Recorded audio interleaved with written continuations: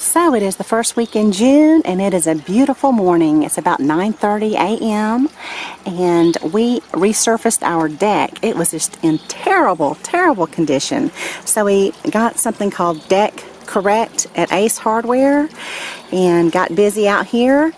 And so now my deck feels nice, fresh, and clean. I'm so thrilled about it. I told you guys in my last tour video that we bought the house and so we're just slowly making some improvements. And another improvement that we made was over here. I installed a spigot.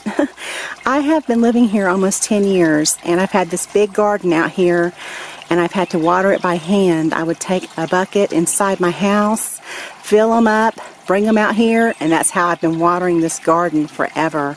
This is going to be so wonderful to actually have water out here. I cannot tell you guys how happy I am that I now have a hose with a little spigot. Okay, so let me show you what's growing here in the herb container garden. Over here, I put some nasturtium seeds right into my little hanging pot, and they are up and growing pretty good. Uh, down here, I have some basil growing. I put seeds just directly into the soil. This is my Thai basil. It's uh, called Siam Queen. And then over here I just have some Italian large leaf basils.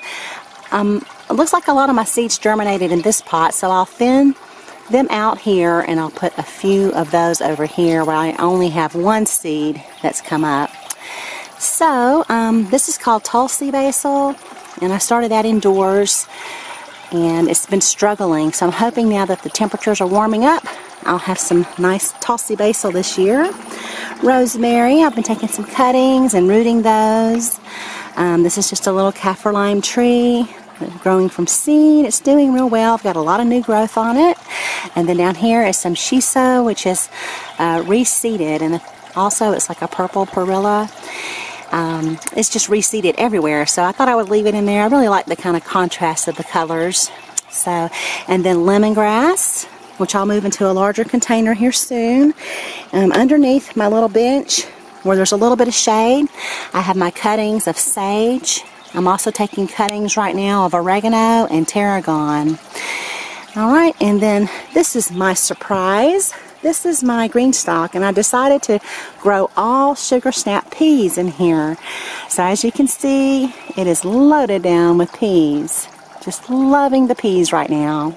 And I'll try to show you how I did that in another video. Down here I have some uh, tomatoes and I'm keeping those in the shade. I have planted most of my tomatoes and I went back through my seed packets and I realized there was one tomato I wanted to grow this year and I did not um, start the seeds indoors early so I'm just going to have those uh, as kind of a late tomato this year.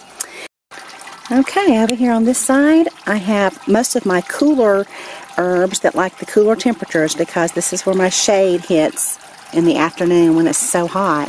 So the shade of the house helps these thrive a little bit better than being in the hot afternoon sun. So the mint looks wonderful. And then so does the tarragon, which I'm going to cut some to dry here very soon.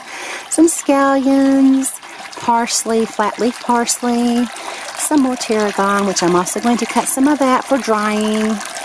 And more parsley, uh, tarragon, and then my chives right back here dill that I just put the seeds right out here in the pot. Um, there's some scallions mixed in there as well. More scallions along with, looks like another reseeded uh, perilla plant. Some more chives and then lots of little chamomile back here. A lot of chamomile. Um, more scallions and then the thyme is just about to start to bloom so right now I want to clip that and dry it as well. I'm going to move this lavender down into the ground, into the native, native soil. This pot's a little bit too small for it, and this is its second year, so I want to give it some room to grow. And then there's more scallions back there, which I'm also going to move those into the ground. So I hopefully can have just a little bed of green onions. That would be great. They can just reseed every year, but I went over that with you in my How to Grow Bunching Onions video. Okay, so I'm going to go ahead and cut back the thyme and some of this tarragon for drying. And then I'll show you guys how I'm drying my oregano right now. So you can see how I dry my herbs every year. I do it in the um, you know, in the late spring. And I'm also going to go ahead and harvest all of these peas.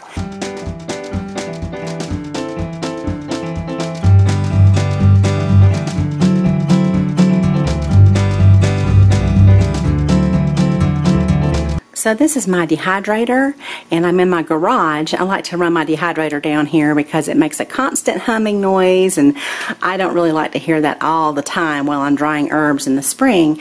So up here I have some um, of the drying trays um, and I'll show you here. I've been working on oregano right now. Okay, and I take out what trays I don't need um, so that I'll get more circulation around these stems. So what I'm going to do is just take my oregano, I'll pop it in this mason jar. I think I showed y'all how I uh, store my herbs in my how to grow oregano video. Um, also I showed you in the thyme 101 and mint 101. And so um, anyway, I will uh, use my little food saver attachment on my mason jar and it'll take all the oxygen out of here and keep it airtight so they'll stay good all through the winter. And so again, this is my Excalibur dehydrator and I really love using this for my herbs. I think you can get these on Amazon. It has an herb uh, setting on there so it doesn't get too hot. Uh, about 95 degrees Fahrenheit, I think. So it drives, dries my herbs perfectly, which a lot of dehydrators you can't control that uh, so precisely.